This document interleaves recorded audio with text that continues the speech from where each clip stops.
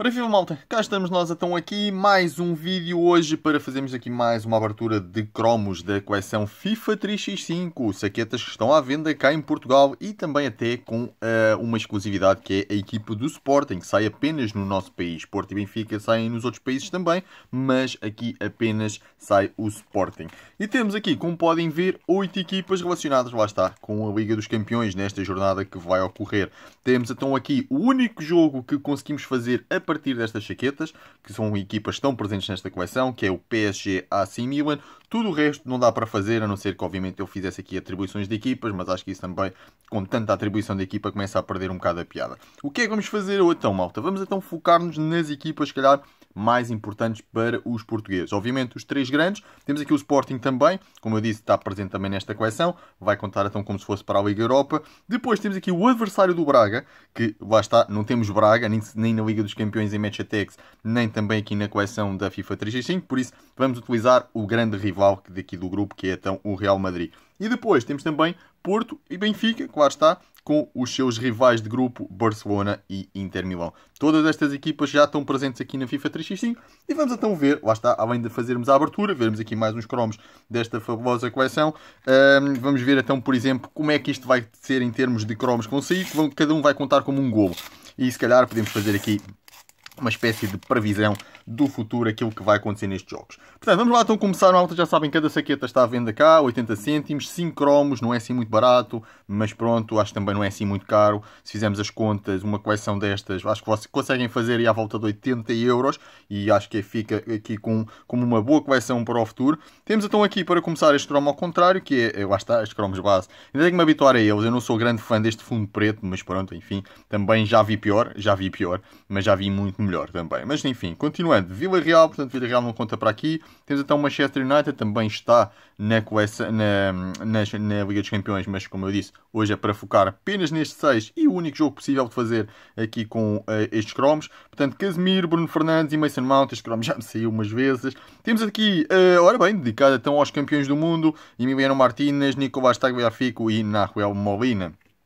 E depois Real Madrid, é pena, portanto, isto também aqui vai contar tudo, emblemas e tudo, se fosse no jogo real se calhar não contaria, mas pronto, um para o Real Madrid, depois temos aqui PSG a marcar aqui frente ao AC Milan com o Hakimi e temos aqui um código, já sabem estes códigos vocês podem usar na aplicação digital que eles têm da Panini, que dá para fazer coleções virtuais. Tem lá muitas coleções virtuais, acho eu, já não faço há algum tempo, há muitos meses, mas vão ver, malta, porque se vocês, por exemplo, gostam de fazer coleções, mas não têm dinheiro para fazer estas coleções, porque, enfim, entendo perfeitamente, cada vez mais caro, isso tudo, vocês podem então fazer as coleções virtuais totalmente gratuitas. Temos então aqui uh, Arsenal, portanto, aqui é o Club Identity. Não sou grande fã deste Club Identity, já disse. Eu acho que o ano passado que tinha a ver com apareciam imagens de adeptos, de, do estádio, de, enfim, coisas assim alusivas ao clube, mas isto aqui sinceramente não sou grande fã.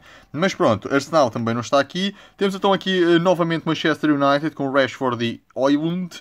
Depois temos então aqui mais um brilhante. Os brilhantes aqui não são, parecem-me não ser difíceis, portanto acho que, é, como eu disse, é uma coleção muito, não digo fácil, mas acessível de fazer. Portanto, aqui a ver com uh, o Mundial de Clubes que vai ocorrer agora na Arábia Saudita, em 2023.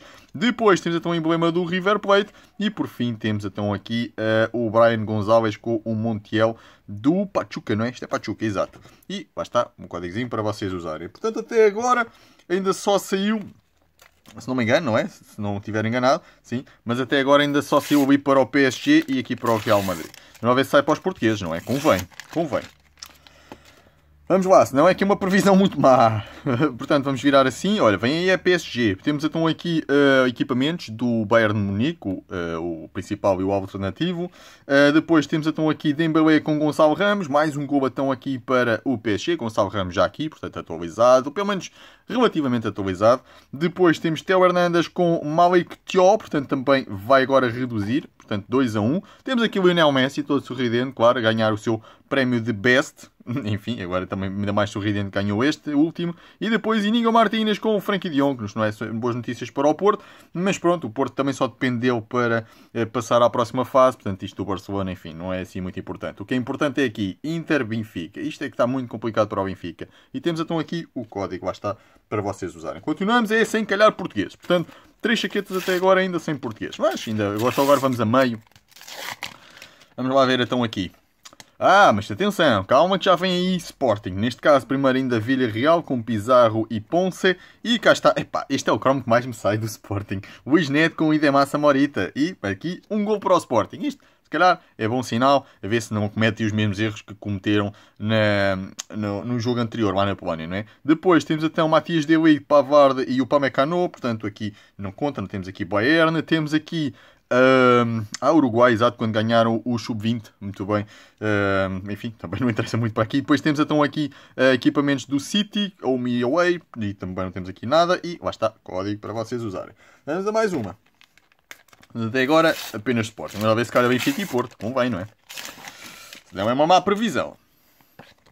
Olha, temos aqui Mbappé. Mbappé, curiosamente, eu não sei se vocês acompanham as últimas notícias relacionadas, neste caso, com a Liga dos Campeões, mas uma coisa totalmente absurda é que apareceram aí já imagens e, imagens e vídeos da caderneta da Liga dos Campeões, a nova, que está para sair, ainda não se sabe quando. Uns dizem que é agora, outros dizem que é só lá para o final do, do mês. Enfim, a mim disseram-me que era agora só para o final do mês, mas já começam a aparecer coisas. E, uma, e com esta conversa toda, o que eu queria dizer é que Mbappé não está lá na coleção. Portanto, eu não sei se a Tops vai adiou exatamente por isso, para colocar o Mbappé na coleção, mas o Mbappé não está na coleção. Pelo menos na equipa do PSG. Pode estar ali nos, nos feitos, nos, no, no, nos recordes e isso tudo, mas na equipa do Mbappé não está. Uma grande, grande, grande falha. Aqui, claro, está que não falhou a Panini e aqui faz o 3 a 1, não é? 3 a 1 para o PSG. Depois temos então aqui, lá está, o Club Identity Pachuca e novamente Pachuca, aqui com o Barreto, Cabral e Castilho. E lá, Alan, aqui a aparecer também aqui para o My Golden Team. E depois temos então aqui uma Blue Stars, exato, isto é a Youth Cup, ou ganhou então o Zurique. Isto é uma coisa qualquer que eu já não lembro bem o que é. Isto não tem a ver com aquela Youth Cup que estamos habituados a ver da Liga dos Campeões, acho eu. Uh, mas pronto, e temos aqui o código para vocês usarem. Vamos lá? Portanto, isto continua complicado para os portugueses, não sabem Porto, não sabem Fica. Já saiu pelo menos um do Sporting que ainda por cima é o, só o Chrome que mais me sai. Temos então aqui Chesney com Perin, guarda-redes então da Juventus. A Juventus, como sabem, também não está presente na, na, nas competições europeias deste ano. Decidiram não entrar só para terem o cadastro limpo, neste caso.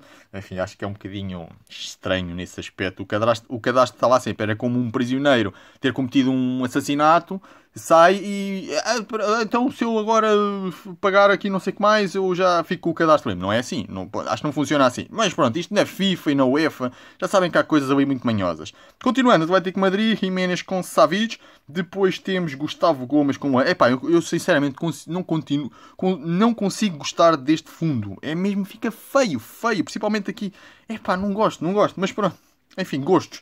Eh, mas o meu gosto é que não, não. Prefiro fundos normais, de preferência de estádio ou de centros de treino ou algo assim. Agora, fundos reais, neste caso. Enfim, depois temos então o emblema do Barcelona, muito mal centradinho, como podem ver. E temos aqui o Timothy Weah com o Pogba. O Pogba adora. Está eh, sempre a aparecer nas minhas aberturas. Mas pronto. Ah, e Barcelona, é verdade. Temos que pôr aqui Barcelona. E com isto tudo, eu acho que não. Acho que não passei mais nenhum. Mas pronto, isto eu digo, não está a correr bem para os portugueses, pelo menos ali do Inter também ainda não saiu nada. Temos então aqui o Ramon Terrat com o Denis Soares do Villarreal. Depois temos aqui eh, Zé Rafael com Fabinho do Palmeiras. Mais Manchester United com Bissaka e McTominay. McTominay agora o homem do momento no United, não é? Depois temos aqui o Sub-17 que vai correr então na Indonésia. Aqui a taça. E temos Inter. Pronto, tinha de ser. Faltava esse, não era? Arnautovic com Correia e temos aqui código. Vamos então à última. Portanto, nada de Porto, nada de Benfica. Eu não sei se o Porto alguma vez me saiu nesta, nas aberturas que eu já fiz até agora. Ora, Barcelona. Portanto, Christensen com Eric Garcia. Depois temos Nacho com Carvajal portanto Real Madrid, cá está, isto não é bom para o, para o Braga neste caso. Temos então aqui Martinelli, Saka e Gabriel Jesus, não conta para aqui, e novamente ainda tinha que ser o, o jovem do momento, neste caso, Jude Bellingham, e terminamos, cá está, pelo menos mais um para o Sporting, António Adan com Franco Israel, os guarda-redes, enfim. Mas pronto, nem sei se podemos contar, não é? Como geralmente nestas coisas os guarda-redes não contam. Mas enfim, não interessa. O que interessa é que as únicas equipas que não saíram aqui foi Porto e Benfica. A minha previsão não augura nada de bom, mas é a minha previsão. Isto é uma coisa, enfim, não sei se vocês acreditam nestas coisas, mas como é óbvio, isto é tudo feito na brincadeira. Mas pronto, enfim, não foi. Até nas outras equipas acho que foi mais ou menos equilibrado, não é? Tivemos dois do Sporting, três do Real Madrid, três do PSG, três do Barcelona, um aqui de Milan e ou dos dois Milans, um para cada um. Só Porto e Benfica é que não apareceram. Mas pronto, malta ficou tão assim. Esperemos, obviamente, que corra muito melhor neste caso, na realidade, que o Porto então consiga mais uma vitória. O Benfica também, não é? Porque pronto, já sabem isto, mesmo não sendo dos meus clubes, neste caso, prevalece sempre serem portugueses. Eu não vou torcer por estrangeiros. Os estrangeiros não torcem por mim também, não torcem por portugueses. Uh, e por isso não interessa. Eu prefiro torcer por clubes portugueses. E lá está, conta sempre para o ranking. E estamos a precisar, malta. Estamos a precisar que o nosso ranking está complicado.